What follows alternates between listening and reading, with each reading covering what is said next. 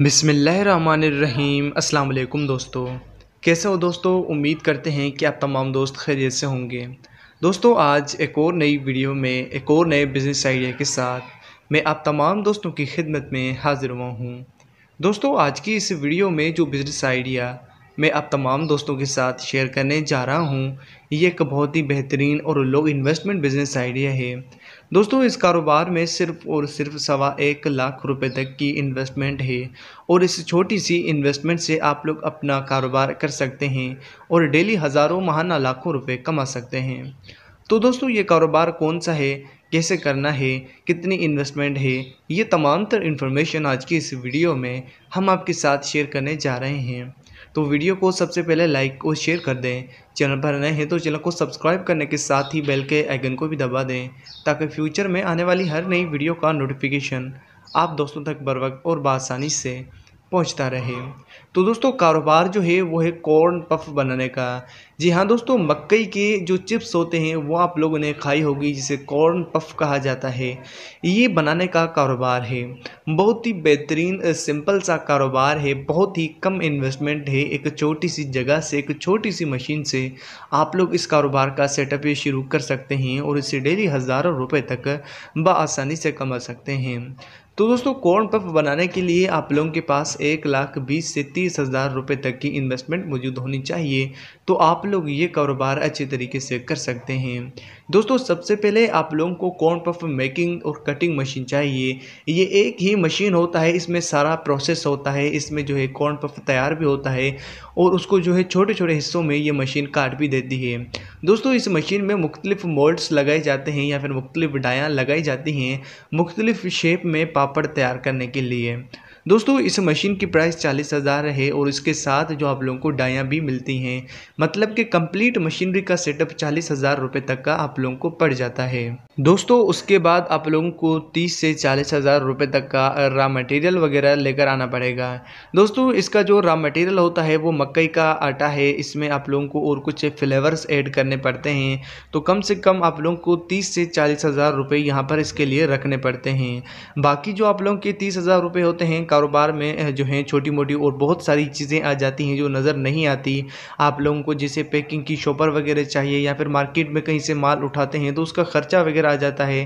तो ये सारी चीज़ें जो है रखने के लिए आप लोगों को तीस हज़ार या चालीस हज़ार रुपये एक्स्ट्रा अपने कारोबार में लगाने पड़ते हैं। कम से कम ये टोटल इन्वेस्टमेंट मिलाकर हमारी एक लाख चालीस हज़ार रुपये तक की पड़ जाएगी।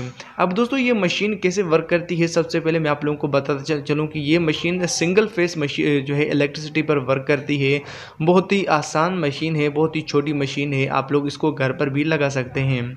जस्ट सिंपल सा आप लोगों को जो है आटा जो है बनाकर इस मशीन में डालना पड़ता है। आप लोगों को मकई का जो आटा होता है उसको गूंद कर, किसी भी मशीन की मदद से उसे गूंद कर आप लोग इस मशीन में होपर दिया होता है, उसमें डाल देना पड़ता है।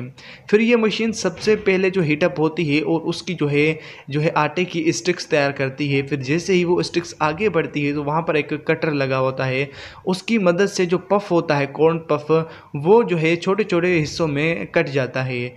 फिर अगर आप लोग साइज़ ऊपर नीचे करना चाहते हैं तो आप लोगों को उसमें टेम्प्रेरी चेंजेस भी कर सकते हैं। फिर आप लोग जो है बड़े भी, जो है कॉर्न पफ तैयार कर सकते हैं, छोटे भी कॉर्न पफ तैयार कर सकते हैं। दोस्तों, ये तो हो गया यहाँ तक। उसके अलावा आप लोगों को इलेक्ट्रिसिटी जो है इलेक्ट्रिसिटी और जगह किसी चाहिए? दोस्तों सिंगल फेस इलेक्ट्रिसिटी पर यह मशीन चल जाती है। घर की नॉर्मल बिजली पर यह मशीन चल जाती है। और उसके अलावा जगह की बात करें, अगर आप लोग लेबर रखना चाहते हैं, अगर आप लोगों के पास, आप लोग घर पर कारोबार नहीं शुरू करना चाहते हैं तो दो कमरों पर मुश्तमिल एक जगह ले लें और वहाँ से अपना कारोबार शुरू करें और दो लेबर आप लोग अपने साथ रखें। दोस्तों, आप लोगों ने कौन पफ, पापड़ जो है कंप्लीट नहीं तैयार करना, आप लोगों ने कच्चा ये पापड़ तैयार करना है और इसे सुखाकर इसे मार्केट में जो बड़ी बड़ी कंपनियाँ हैं, जो पाँच पाँच रुपये दस दस रुपये वाले पापड़ तैयार करती हैं, उन्हें आप लोगों ने सेल आउट करना है। दोस्तों, अब इस मशीन की प्रोडक्शन की बात करते हैं तो दोस्तों, मशीन की प्रोडक्शन बहुत ही अच्छी है। आप लोग अगर दिन में 10 से 12 घंटे इस मशीन पर काम करते हैं तो बसानी से इस मशीन की मदद से आप लोग 200 से 300 किलो तक की प्रोडक्शन ले सकते हैं, जो कि एक बहुत ही अच्छी प्रोडक्शन है एक मशीन के मदद से। दोस्तों, उसके बाद आप लोगों को क्या करना है? आप लोगों को जैसे मैंने कहा कि शॉपर्स परचेज़ करनी है बड़ी बड़ी शॉपर्स आप लोगों ने शादी परचेज़ करनी है, उनमें आप लोगों ने इनको के के हिसाब से भरना है। आप लोगों ने दस किलो वाले पैकेट बनाना है, बीस किलो वाले पैकेट बनाने हैं, तीस किलो वाले पैकेट बनाने हैं, ऐसे पैकेट बनाकर आप लोगों ने इन मार्केट में सप्लाई करना है। आप लोग इन्हें ऐसी कंपनियों को सेल कर सकते हैं जो जो है कॉर्न पफ जो है पापड़ तैयार करती हैं या फिर आप लोग उन्हें दुकानों पर भी सेल कर सकते हैं। लोग अक्सर घर पर चीज़ें बनाना चाहते हैं। आप लोग देखते हैं कि लोग घर पर पापड़ वगैरह तैयार करते हैं। तो उनके लिए भी आप लोग छोटे छोटे पैकेट एक किलो वाले, आधा किलो वाले, दो किलो वाले या फिर जो है एक पाव वाले ऐसे पैकेट बनाकर आप लोग मार्केट में दुकानों पर होलसेल रेट पर सप्लाई कर सकते हैं। दोस्तों, ओवरऑल देखा जाए तो बहुत ही बेहतरीन कारोबार है। अगर ये कारोबार आप लोगों को करना है तो आप लोग इसे सिर्फ़ और सिर्फ़ डेढ़ लाख रुपए तक की इन्वेस्टमेंट से कर सकते हैं। तो उम्मीद करते हैं, आज की ये वीडियो आप तमाम दोस्तों को ज़रूर पसंद आई होगी। वीडियो पसंद आए तो लाइक और शेयर ज़रूर कर दें। मिलते हैं फिर किसी और नई वीडियो में। तब तक के लिए अल्लाह हाफिज़।